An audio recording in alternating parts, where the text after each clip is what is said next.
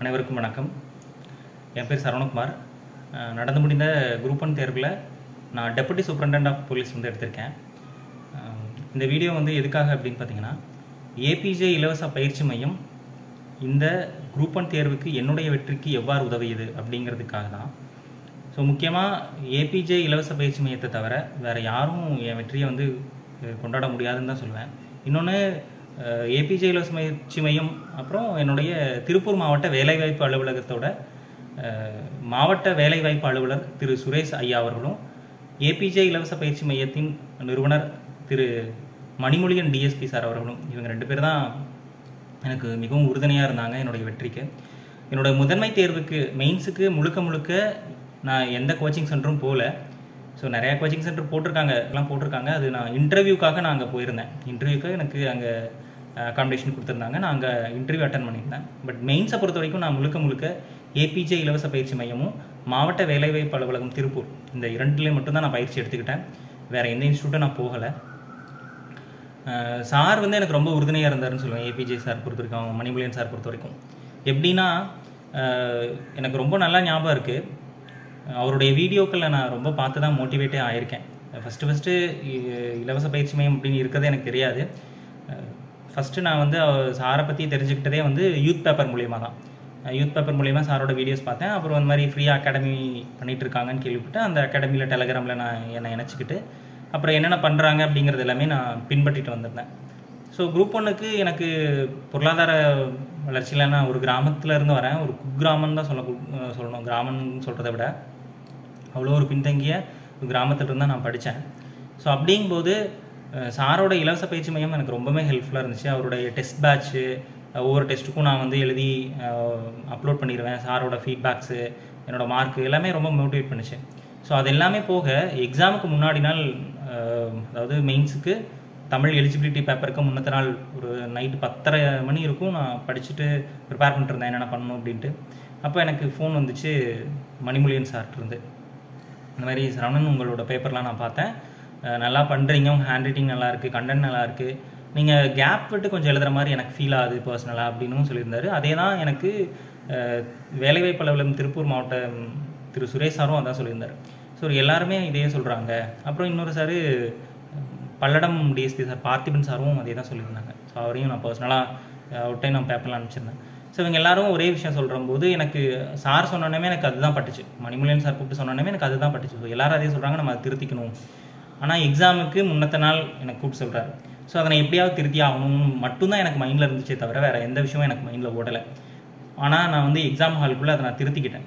அது எப்படின்னா அது என்னோடய கண்டென்ட்டை என்னோடய ஹேண்ட் ரைட்டிங் மூலியமாகவும் நான் எப்படியெல்லாம் அதை மேனேஜ் பண்ணுன்ட்டு எனக்கு யோசிச்சு வச்சுருந்தேன். அது பிரகாரம் நான் வந்து திருத்திட்டேன். ஒரு லைன் கூட நான் விடாமல் தான் எழுதியிருந்தேன். ஸ்பேஸே விடாமல் எழுதியிருந்தேன் கண்டென்ட்டை நல்லபடியாகவே கொடுத்துருந்தேன். இருந்தாலும் என்னால் பேப்பர் கம்ப்ளீஷன் அப்படின்னு அந்த விஷயத்தில் லாஸ்ட்டு கொஷின் அதாவது ஒரு டென் மார்க் கொஷினில் எப்பவுமே ஒரு ஆஃப் கொஷின் மூணு பேப்பர்லையும் அப்படி தான் இருந்தேன் ஆஃப் கொஷின் வந்து என்னால் எழுத முடியலை. கடைசியாக டென் மார்க்கை மட்டும் ஆஃப் கொஷின் என்னால் எழுத முடியல பிகாஸ் ஆஃப் நான் அந்த எல்லா லைன்ஸும் எழுதணுங்கிற அந்த விஷயம்னால. இருந்தாலும் எனக்கு கிளியர் ஆயிருந்தது. சரிங்களா?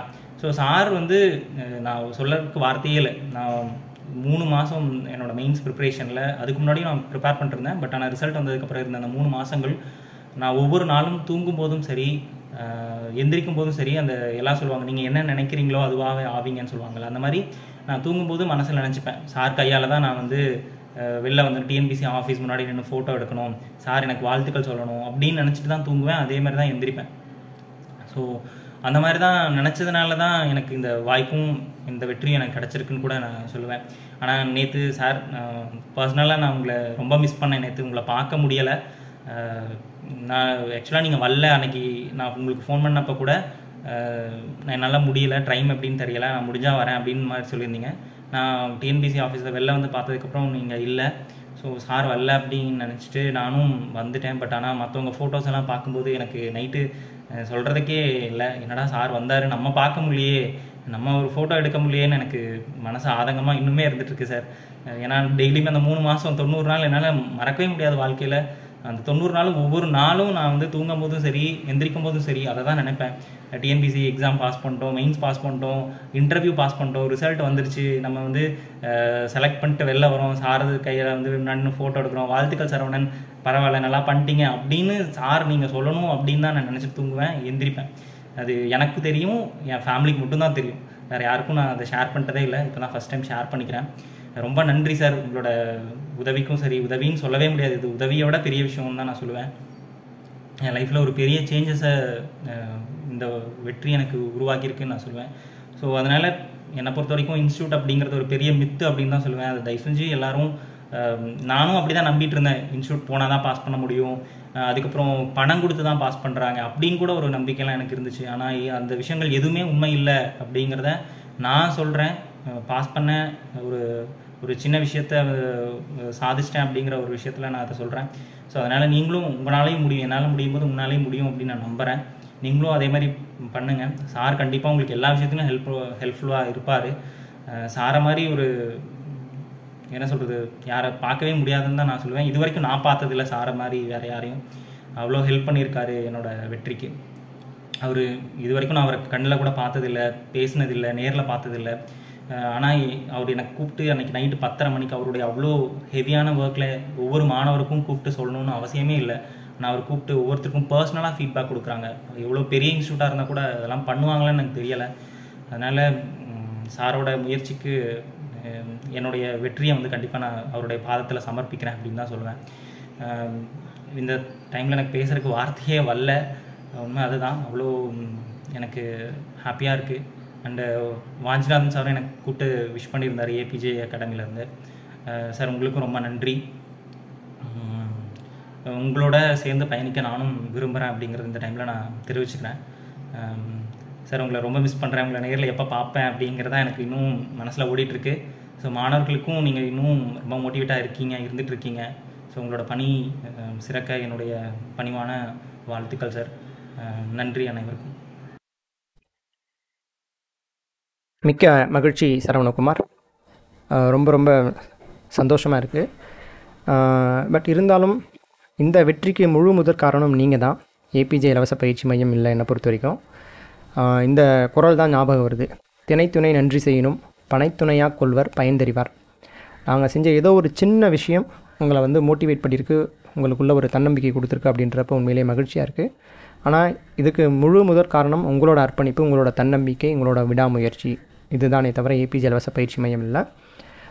நீங்கள் பெருந்தன்மையோட சொல்லிக்கிறீங்க பட் உண்மை அது இல்லை. நான் என்ன என்னை பொறுத்த வரைக்கும் உங்களோட உழைப்பு அதுதான் உங்களுக்கு வெற்றியை தேடி தந்திருக்கு. ஸோ அதனால் நன்றி. நீங்கள் பெருந்தன்மையாக சொல்கிறீங்க உண்மையிலேயே வந்து நான் தான் ஆக்சுவலாக நன்றி சொல்லணும். நீங்கள் இந்த அளவுக்கு வந்து ஏபிஜே இலவச பயிற்சி மையத்தை ஒரு வெளிப்படையாக நீங்கள் சொல்கிற சொல்கிறீங்க அப்படின்றப்போ உண்மையிலேயே எனக்கு மகிழ்ச்சியாக இருக்குது நான் தான் உங்களுக்கு நன்றி சொல்லணும். தேங்க்யூ இந்த ஃப்ரீ கோச்சிங் கொடுக்கணும் அப்படின்ற ஒரு விஷயம் வந்து ஏதோ ஒரு இன்சிடெண்ட் இல்லை ஒரு காரணத்தால் வந்து வந்தது கிடையாது. இந்த இலவச பயிற்சி மையம் கொடுக்குறது இந்த இலவச பயிற்சி மையம் வந்து என்னோடய வாழ்க்கையில் ஒரு அங்கமாக மாறிடுச்சு. இதை நான் வந்து ஒரு சேவையாகவோ இல்லை வந்து இந்த சொசைட்டிக்கு நல்லது செய்யணும் மாற்றணும் அப்படியே நிறைய இளைஞர்களுக்கு வந்து கொண்டு வரணும் அப்படின்ற மாதிரியான ஒரு எண்ணம் இன்டென்ஷன் அப்படிலாம் எதுவுமே இல்லை. என்னோடய வாழ்க்கையில் ஒரு அங்கமாக மாறிடுச்சு அவ்வளோதான் இது தொடர்ந்து நான் நிச்சயமாக வந்து நான் செய்வேன். இப்போ நான் வந்து சரவணகுமார் மாதிரி தான் நானும் ஒரு விவசாய குடும்பம் கிராமத்துலேருந்து வரப்போ சின்ன சின்ன விஷயங்கள் வந்து இந்த பணத்தோட மதிப்பு பணம் இல்லைன்னா சில விஷயங்களை செய்ய முடியாது அப்படின்ற ஒரு விஷயம் வந்து எனக்குள்ளே வர ஆரம்பிச்சிருச்சு. என் நான் உணர ஆரம்பித்தேன் இப்போ எக்ஸாம்பிள் சின்ன வயசில் அப்பா வந்து ஒவ்வொரு தடவையும் அந்த நெல் வேர்க்கடலை இதெல்லாம் வந்து விவசாயம் பண்ணி மண்டியில் போட்டுட்டு அப்பா வருவாங்க வருவாங்கன்னு நான் காத்து கிடப்பேன். நைட் எட்டரை பஸ்க்கு வருவாங்க. ஏன்னா வரப்போ ஏதாவது தின்பண்டம் வாங்கிட்டு வருவாங்க பிஸ்கெட் வாங்கிட்டு வருவாங்க ஏதாவது வாங்கிட்டு வருவாங்க. அது அதுக்காக அந்த அதுக்காக ஏங்கி கிடப்போம். காற்று கிடப்பேன். பஸ் வந்துச்சுன்னா ஒரே மகிழ்ச்சியாக துள்ளி ஓடுவேன். ஓடி அப்பா என்ன இருக்குது என்ன வாங்கிட்டு வந்திருக்கேன் அதை வாங்கி சாப்பிடுவேன். ஸோ இந்த மாதிரி பல வருஷங்கள் வர கொஞ்சம் அப்படியே கொஞ்சம் ஏஜ் ஆக ஆக அப்பா அப்பா வந்து மண்டிக்கு போயிட்டு வரப்போ நான் சந்தோஷமாக இருப்பேன். ஆனால் வந்துட்டு கொஞ்சம் அப்பா பேசுகிறப்ப கடன் வந்து அஞ்சாயிரம் இருந்துச்சு. மூட்டை வந்து மொத்தம் எல்லாமே போனது மூவாயிரத்தி ஐநூறு தான் போச்சு. ஸோ மீதி இன்னும் ஐயாயிரத்தி ஐநூறு சாரி ஆயிரத்தி ஐநூறுரூபா கடன் இருக்குது எக்ஸாம்பிளுக்காக சொல்கிறேன் அப்படின்னா பாருங்கள் ஒரு விவசாயம் செய்கிறவங்க நெல்லை கொண்டு போயிட்டு மண்டியில் போட்டாலும் இந்த நெல்லை பயிர் செஞ்சதுக்கு இதுக்கு ஆன செலவு வேறு மற்ற செலவு குடும்ப செலவுக்கெல்லாம் மண்டியில் கடன் வாங்கி போயிட்டு போடுறது ஐயாயிரரூபானா அங்கே கடன் இருக்கிறது ஏழாயிரரூபாயா இருக்குது அப்படின்னா அதை போட்டதுக்கப்புறமும் இன்னும் ரெண்டாயிரரூபா கடன் தான் இருக்குது அதுக்கப்புறம் வீட்டில் பிள்ளைங்களுக்கு ஏதாவது செய்யணுமே அடுத்து குடும்ப செலவை பார்க்கணுமே இன்னொரு ஆயிரரூபா ரெண்டாயிரரூபா கடன் வாங்கிட்டு தான் வருவாங்க. அந்த கடனில் தான் வந்து எங்களுக்கு வாங்கிட்டு வந்திருக்காங்க அப்படின்ற விஷயத்தையே நான் பல வருஷங்கள் ஆச்சு நான் உணர்றதுக்கு. அப்போ தான் நான் உணர ஆரம்பித்தேன் அப்போ இவ்வளோ கஷ்டம் அப்போ கடனில் தான் வாழ்க்கையே ஓடிக்கிட்டு இருக்கு அப்படின்றது நான் புரிய ஆரம்பிச்சுக்கிட்டேன். அது மட்டும் இல்லாமல் ஒரு நாள் நல்ல மழை அந்த மழையில் ஏர் ஒழுகிறப்ப ஏதோ ஒரு தெரியாமல் அந்த ஏரோட கலப்பையில் இருக்க கம்பி வந்து அப்பாவோட பாதத்தில் குத்திடுது அதுக்கப்புறம் அந்த ஏர் கலப்பையும் மாடையும் பிடிச்சிக்கிட்டு நடந்து வராங்க நொண்டிக்கிட்டு நடந்து வராங்க. கிட்ட பா கிட்ட கிட்ட வந்ததுக்கப்புறம் பார்த்தா தான் தெரியுது காலில் ரத்தம் சகதி சேரோட அந்த ரத்தம் இருக்குது அந்த புண்ணுக்குள்ளே அப்படியே அந்த மண் சகதியெல்லாம் உள்ளே போயிருக்கு. அப்பா அப்பாப்பா அதை நினச்சாவே எனக்கு இப்போவே வந்து எனக்கு கண்ணெல்லாம் கலங்குது ஆக்சுவலாக உண்மையிலேயே வந்து என்னோடய அப்பாவோட அந்த பாதத்துக்குள்ளே அந்த கம்பி குத்துன மாதிரி நான் ஃபீல் பண்ணல. இப்போவும் என் மூளைக்குள்ளே அந்த கம்பி குத்துன மாதிரி தான் எனக்கு ஃபீல் வருது. ஸோ இப்படி கஷ்டப்பட்டு தான் நம்மளை வந்து காப்பாற்றுறாங்க நம்மளை வந்து படிக்க வைக்கிறாங்க. ஏதோ ஒரு குடும்ப செலவை பார்த்துட்ருக்காங்க அப்படின்றப்போ பேரண்ட்டை வந்து டிபெண்ட் பண்ணுறதுக்கு எனக்கு தைரியமாக அப்பா எனக்கு செலவு பண்ணுங்கள் எனக்கு இதை பண்ணுங்கன்னு எனக்கு கேட்கவே தோணல. இது வரைக்கும் அப்படி கேட்டதும் இல்லை. ஸோ அதனால தான் ப்ளஸ் டூ முடிச்சதுக்கப்புறமும் வந்து ரொம்ப பேர்டன் கொடுக்கக்கூடாது. அப்பாவுக்கு கஷ்டத்தை கொடுக்கக்கூடாதுன்னு சொல்லி தான் ஒரு ஸ்டைஃபண்ட் மாதம் வந்து முந்நூறுரூபா அவங்களே கொடுக்குற செலவே இல்லாத ஒரு டிப்ளமோ நர்சிங் வந்து நான் வந்து சூஸ் பண்ணி நான் படித்தேன் அதுக்கப்புறம் டிஸ்டன்ஸில் வந்து நான் டிகிரி படித்தேன் எனக்கு அக்காங்கெல்லாம் சப்போர்ட் பண்ணாங்க. ஸோ அதுக்கப்புறம் தான் என்னால் வர முடிஞ்சுது. அதுக்கப்புறம் ஒரு ஒரு வருஷம் நான் ப்ரைவேட்டில் ஒர்க் பண்ணுறேன் ஏழு வருஷம் கவர்மெண்ட் கவர்மெண்ட்டில் ஒர்க் பண்ணுறேன் பல்வேறு பணிகளில். அதுக்கப்புறம் ஏழு வருஷம் ஒர்க் பண்ணிட்டு ஒர்க் பண்ணிகிட்டே இருக்கப்போ தான் எனக்கு இந்த குரூப் ஒன் ஒரு விஷயம் வருது வர ஆரம்பிக்குது. ப்ரிலிம்ஸ் நான் கிளியர் பண்ணுறேன் அப்போ எல்லாருமே சொல்கிறாங்க மெயின்ஸ் வந்து நீங்கள் வந்து ஒரு இன்ஸ்டியூட்டில் போனால் தான் வந்து மெயின்ஸை கிளியர் பண்ண முடியும். ரொம்ப ஹை காம்படிஷன் இருக்குது ஒரு வேகன்சி ரொம்ப கம்மியாக இருக்குது ஈவன் நீங்கள் ரிசர்வேஷனில் போகணுன்னா கூட அந்த ரிசர்வேஷனில் நீங்கள் டாப்பராக இருக்கணும். அப்போ தான் உங்களுக்கு வேலை கிடைக்கும் அப்படின்ற மாதிரிலாம் சொன்னாங்க ஸோ அதுக்கு முன்னாடி வரைக்கும் நிறைய ரயில்வே பேங்க்கு இந்த மாதிரி யூபிஎஸ்சி இன்டர்வியூ வரைக்கும் கூட போயிட்டு வந்துட்டேன். பட் அதெல்லாம் வேறு மாதிரி. பட் டிஎன்பிசி எனக்கு அப்போ தான் நான் புதுசு. அதுவும் மெயின்ஸ்க்கு வந்து ரொம்ப வேறு மாதிரி ப்ரெசன்டேஷன் நல்லா இருக்கணும் நல்லா மனப்பாடம் பண்ணி எழுதணும். இந்த மாதிரிலாம் நிறைய விஷயங்கள் சொன்னாங்க. ஸோ அப்போ நான் ஒரு முடிவு பண்ணிட்டேன். கண்டிப்பாக வந்து இன்ஸ்டியூட் ஜாயின் பண்ணியே தான் ஆகணும். ப்ரைவேட் இன்ஸ்டியூட் ஜாயின் பண்ணியே தான் ஆகணும் அப்படின்ற ஒரு முடிவுக்கு வரேன். அப்போ வந்து நான் ஏழு வருஷம் அரசு பணியில் இருந்தாலும் இந்த எண்பதாயிரத்தை என்னால் வந்து கொடுக்க முடியல. அதுக்கு முன்னாடி அப்பாவுக்கு கொஞ்ச நாளுக்கு முன்னாடி சர்ஜரி பண்ணோம் சென்னையில். ஸோ அதுக்கு கொஞ்சம் செலவானது. கையில் இருப்பே இல்லாமல் போச்சு. ஸோ நான் இப்போ என்னோடய அந்த சுச்சுவேஷனில் நான் கடன் வாங்குற மாதிரி தான் ஒரு சுச்சுவேஷன் வந்தது. என்னோடய ஃப்ரெண்டு கூட ஒர்க் பண்ண bank assistant manager Thiru Mohanraj என்னோடய நண்பர். அவர்கிட்ட நான் கேட்ட உடனே எந்த ஒரு இதுவுமே கேட்காம உடனடியாக என்னோடய அக்கௌண்ட்டுக்கு ஒரு எண்பதாயிரம் ட்ரான்ஸ்ஃபர் பண்ணி கொடுத்தாரு. அந்த நன்றியை நான் எப்போவுமே மறக்க மாட்டேன். வாழ்நாளில் மறக்கவே கூடாது அதை. ஸோ அந்த எண்பதாயிரத்தை நான் வந்து கட்டி தான் நான் வந்து மெயின்ஸ் நான் வந்து கோச்சிங் போனேன். கோச்சிங் நல்லா இருந்தது. உண்மையிலே நிறைய விஷயங்கள் நான் தெரிஞ்சுக்கிட்டேன். எப்படி ப்ரெசென்ட் பண்ணணும்? என்னென்னலாம் இருக்குது அப்படின்றத நான் போனதால் தான் எனக்கு தெரிஞ்சது. அதனால தான் நான் குரூப் ஒன் எக்ஸாமே பாஸ் பண்ணேன்.